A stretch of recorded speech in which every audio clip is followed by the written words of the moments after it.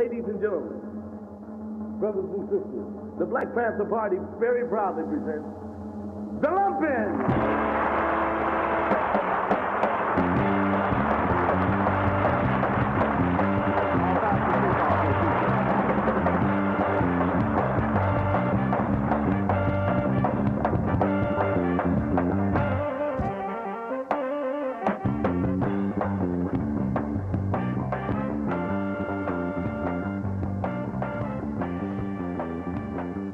Soul music fans would recognize this quickly. This is a standard James Brown party starter. This is There Was a Time. Okay? And the Lumpen members told me, I said, Well, did you guys start with this? They said, Yeah, we would run on stage and start doing steps the way other rhythm and blues acts would do to get you excited as soon as the record started. And then they would start singing. They're singing Freedom, and then you'll hear them Oh, then you hear the leader interspersing all this James Brown type of scatting. Good God.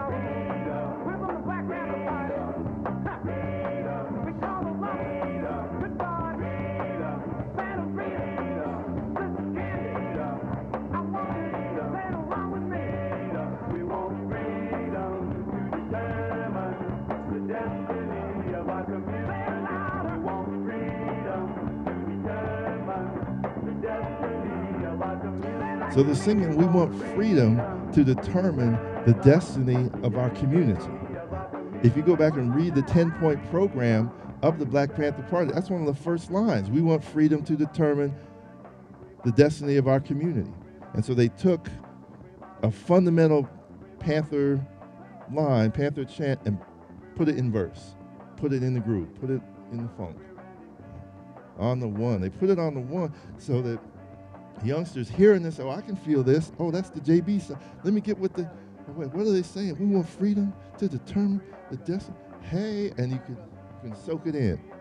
This is how the hip hop generation lives. They soak in their consciousness, their ideology, their worldview through the rhythms. Okay? The Lumpen did the same thing. Going back into graduate school in 2002, what are you going to write about? What are you going to study? Oh Well, I'm working on it. But I'm thinking it has to do with politics and culture and how black power politics and culture and the lived life of the people and how the music of that period all interconnected. There was something about those three things that I thought belonged together. And then in 2002, I got a phone call from Boots Riley. Any hip hop fans around here? Hip hop fans? A couple. Boots Riley is uh, the leader of a rap group known as The Coup, one of the most uh, successful um, politically conscious rap groups in the business, and they're based out here. And uh, Boots Riley himself uh, is an activist. His father, Walter Riley, uh, was an activist uh, going back another generation. Um, Boots made a name for himself uh, organizing youth in Oakland. I remember he organized a all-day activity he called F the Police Day. And so he was one of the few people that I would let come in my house with this little portable computer hard drive, plug in and download all my beats and get all the funk beats that I would use. And then he would he would use them in his rap and stuff, and I get a credit in the booklet. So anyway, we got along. And then he, he would always throw little nuggets, little historical nuggets my way. So, Rick, did you know you know, so and so happened that the Black Panthers sponsored a, a, music concert? Did you know about this? And then one day he called in 2002 and said, Rick, did you know the Black Panthers had a funk band? And I was like, a funk band? That's funny. You're a funny guy, Boots. And we laughed at that one. I was like, how can you, how can the Black Panthers have a funk band? The Black Panthers are the most serious, together, organized brothers and sisters my generation had ever known. Because they took on the system in a sophisticated, right, dignified way. And they didn't act a fool about it. They were de- deadly serious about defending their community. The Black Panther Party for Self Defense, an organization that was formed, that was founded in October of 1966 just a few months after that Black Power March, that Freedom from Fear March that James Meredith did in June of 1966, that everyone mobilized for, just a few months after that. In Oakland, at Merritt College, a junior college, right?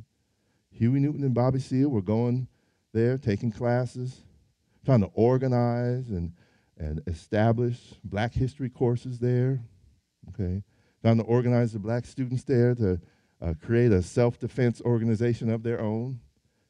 And they were doing their homework, studying what other organizations were doing, what SNCC had been doing. They came from the community, they understood a lot of the dynamics of the street, and yet they also read, they also did their homework. They studied, you know, revolutionary practice and revolutionary theory. And so they put together really the culmination or a, a, a next evolution of community organization, a group that had a 10 point program for liberation. They had a 10 point program before they even had a name. And so they participated on a hands on level in addressing this issue of rampant police brutality.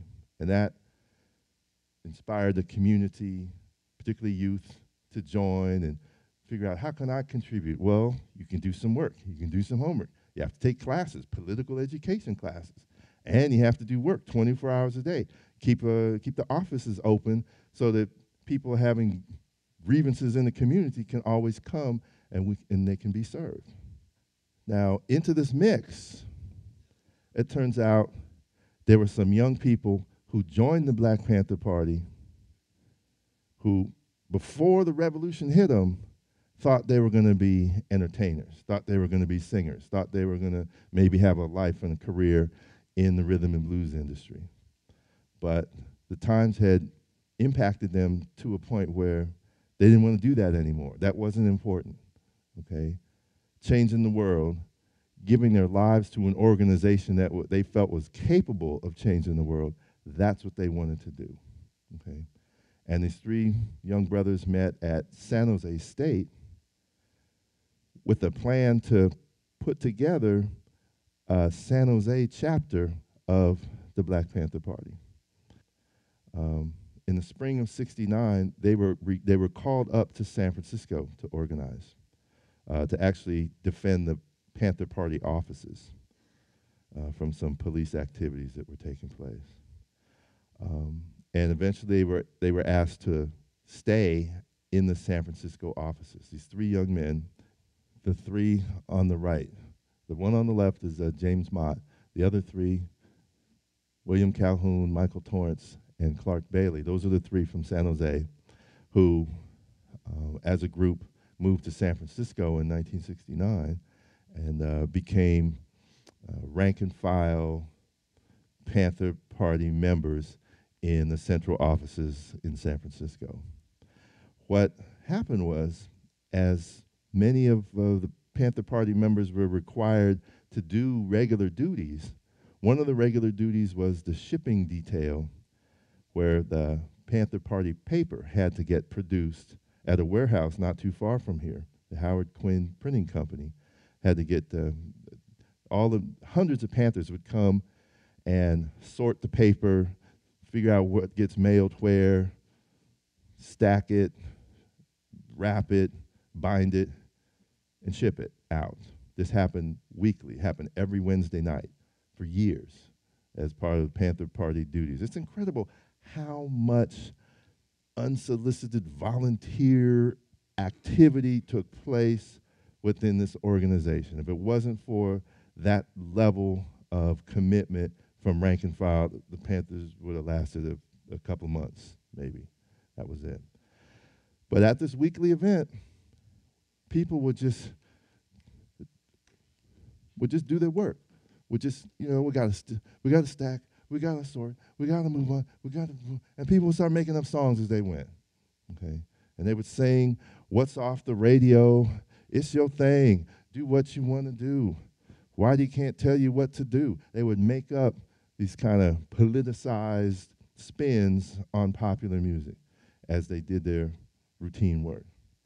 And what happened was the minister of culture Emory Douglas was there, and he heard these three brothers singing and harmonizing and making up music as they went.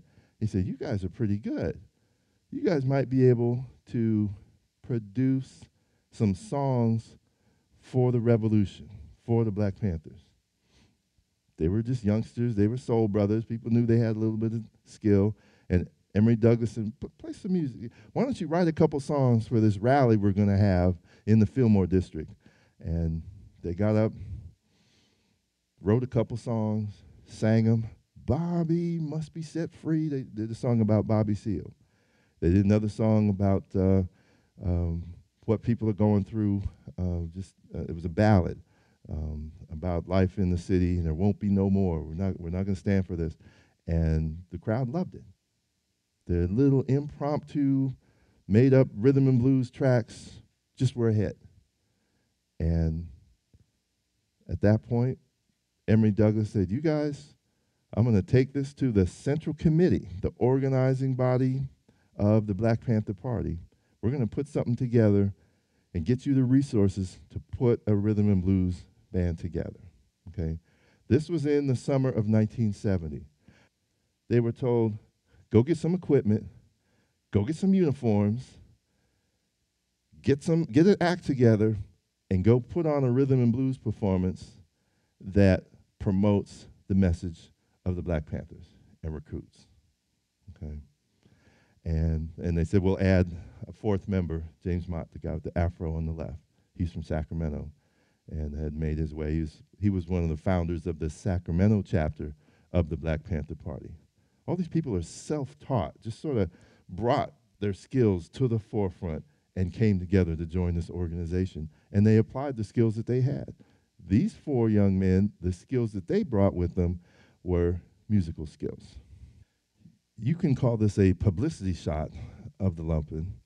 They since told me that they had been on security duty all night and they were just tired. Uh, they look like they're glaring at you, like, yeah, we're Panthers, don't mess with us. They're really like, why we got to take a picture? We've been up all night. Um, but that's the Lumpen. James Mott, William Calhoun, Michael Torrance, and Clark Bailey.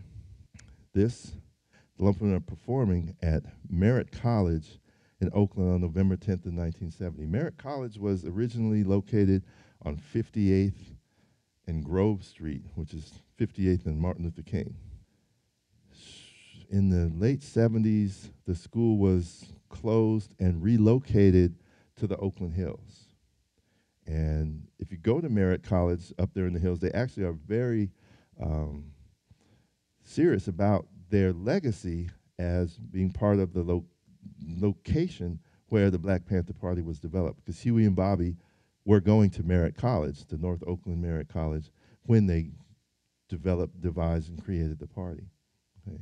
And there was a nice auditorium there, fancy old architecture, and the Lumpen performed there more than once um, and got folks riled up, and I'll play some of their music in a moment. So this is them at a San Francisco uh, high school. 1970. This is the Lumpen on a road trip. They went on a tour, if you want to call it that. I mean, they insisted they're not entertainers, they were revolutionaries. But they did go on a, on a road trip um, in, this, in November of 1970, actually, the day after that concert with the flag behind them. Uh, they packed in their cars and they headed to the Northeast. And they played at Amherst College. Um, they played at Wisconsin. They went up through the upper Midwest and wound up in New England. And they played at New Haven, um, Boston. Uh, they played the Roseland Ballroom in New York City. Um, they went to Philadelphia. They played at Temple um, in Washington, D.C. And the FBI followed them the whole time. Uh, they were treated like panthers. Uh, when they went to these colleges, very often they would be put up by the Black Student Union at those schools who wanted to have a, a Panther event, some sort of show of solidarity with the Panthers. And in some cases, there'd be a leader like Kathleen Cleaver or somebody who would be speaking, and then they would be the entertainment. In some cases, they were the star of the evening. So The tour was, it, it, it made an impact. Now, ironically, if you look at this picture, um, you see the lumpen leaders in front. You see the guitar player on the on the right? None of them remember this guy's name, but the band often had two white guys in the group. Now, in the Bay Area, rhythm and blues, integrated bands, it's not that it's not really news. Okay? If you think about Johnny Otis, Sly and the Family Stone, Tower Power, Santana Band, integrated. If you feel it in the Bay, you feel that vibe. That's you're in the band, okay.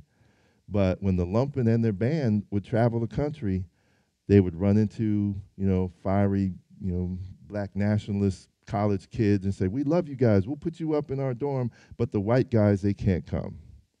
You got to keep them out. You got to let them let them stay in the station wagon. You know, this sort of reverse Jim Crow type of thing. And the lumpen said, "No, we're a unit. We, we don't need your we don't need that kind of hospitality, and we'll all stay in the station wagon together and ride this out." And that's what they did. So they really took a stand for the messages that uh, they wanted to deliver. This is the lumpen back in Oakland at the Defremery Park, better known as Bobby Hutton Park. Another thing they did was they had choreography. They did skits. They enacted a lot of this resistance to oppression, to police brutality. They acted that out on stage. So it says here the lumpen perform a dance routine that involved stomping a racist cop that had tried to brutalize a member of the community. And if you can see some of that, yeah. The lumpen used dance and choreography as well as music to deliver the Panther Party message. This is in backstage at that event. It turns out that event, that concert at Merritt College, um, was a big production. They had photographs, they had a truck, and they had a professional um, recording made of their live concert. And the plan was to make an album, to produce an album of rhythm and blues, a Black Panther Party production of rhythm and blues music with their revolutionary message. And that would have changed the mythos of the Black Panther organization in a fundamental way, if you think about it. I remember as a kid, um, my mom, Tony here, she was a member of the party, and even after she was no longer a member of the party, we always got the Black Panther Party paper. Well, fast forward 40 years, I'm doing research in the Bancroft Library to find out, you know, information about this Black Panthers group.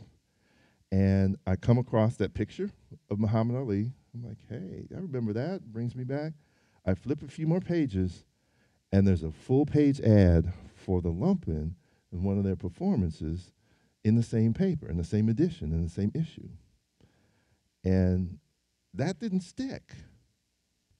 I didn't think the Black Panthers were revolutionaries that could dance.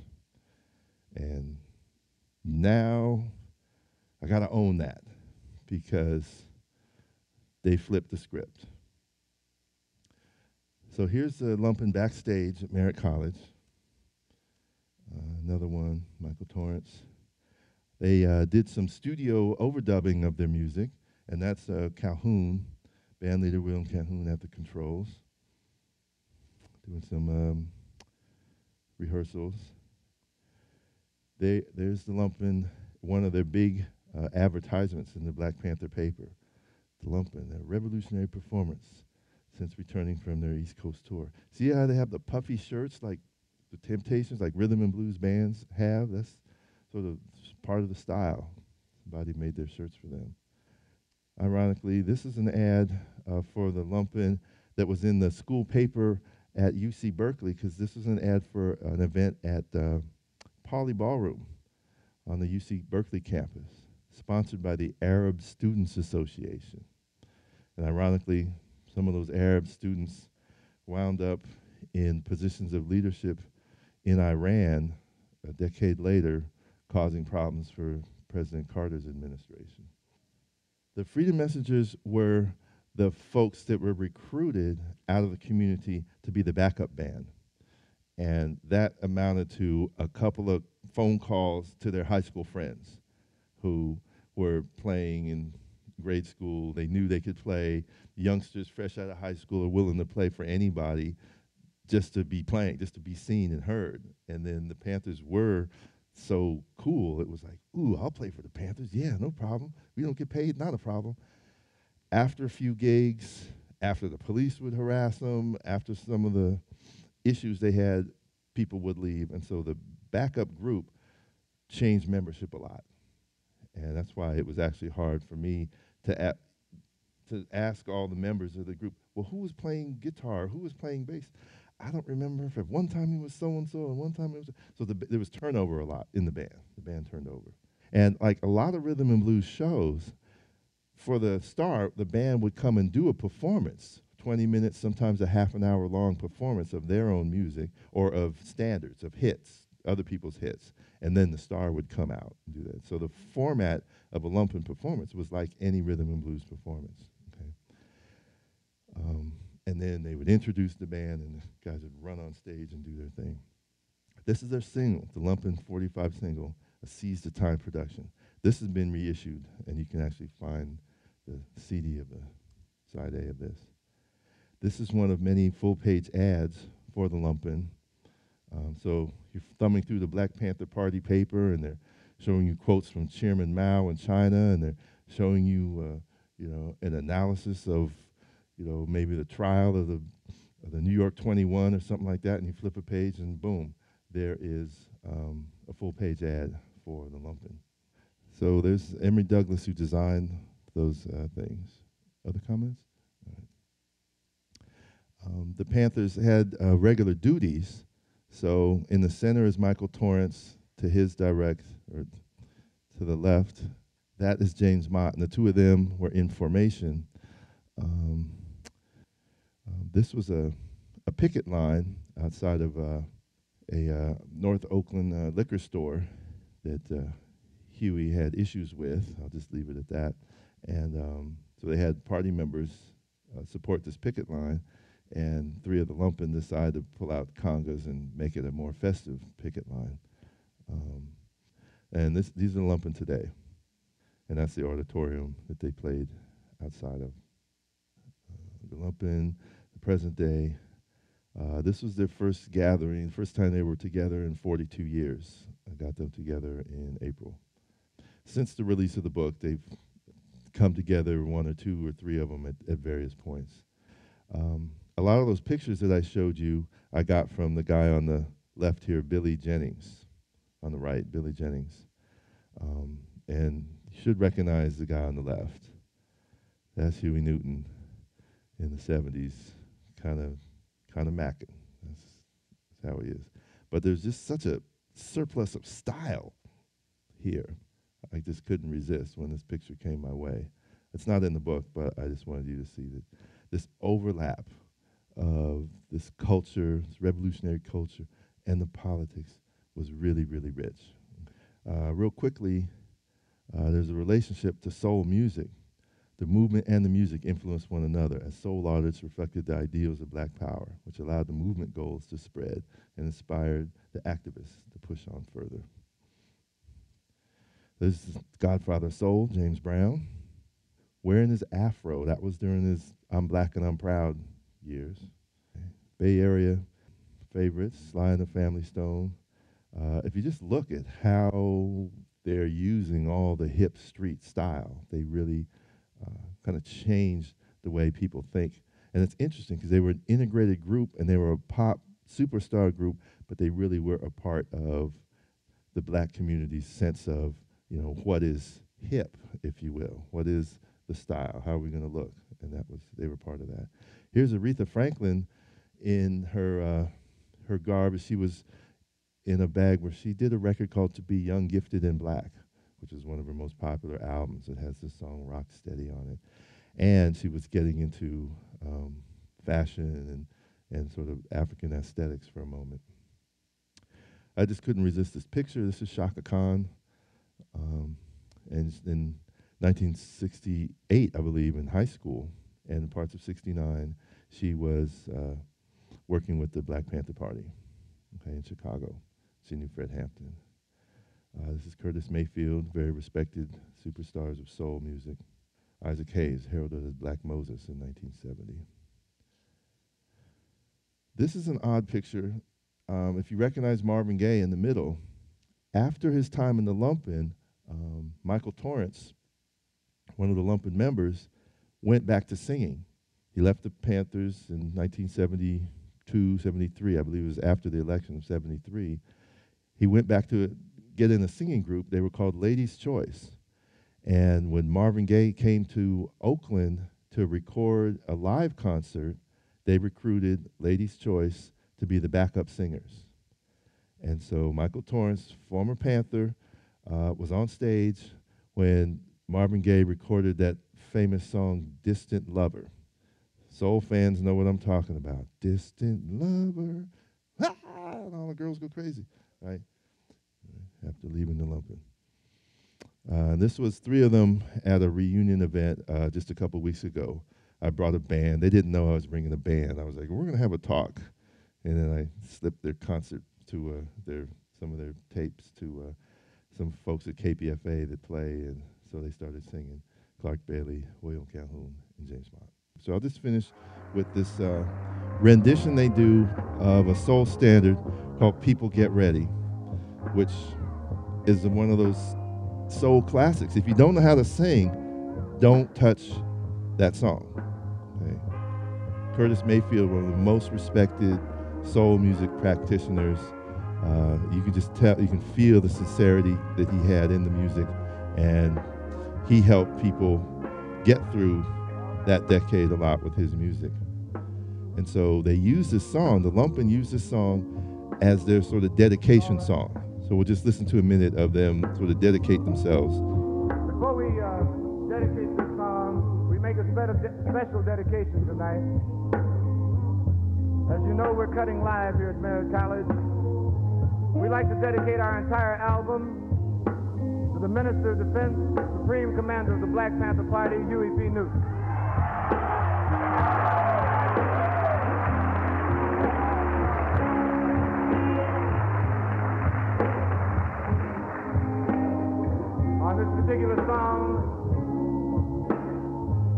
Dedicate to Jonathan Jackson, to William Christmas, to James McClain, to Fred Hampton, Mark Clark, John Huggins, Alprentice Bunchy Carter, and to the brother that was the beginning, little Bobby Hutton. To all revolutionaries, to all revolutionaries that have given their lives cause freedom throughout the world, we the Lumpen respectfully dedicate this song. Yeah. Sing the song.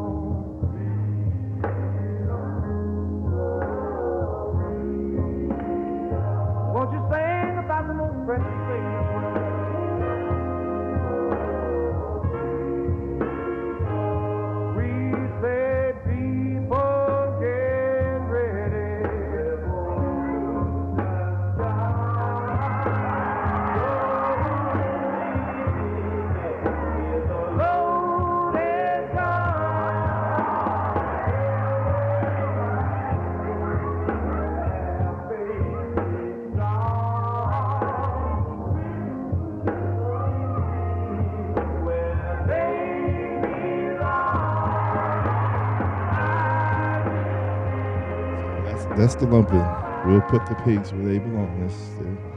They they, uh, they they went for it, and um, and they moved on. And it was an amazing thing to try to pull them back out. None of them wanted to talk about their music. I, I said, I want to ask you about this and that. They said, What?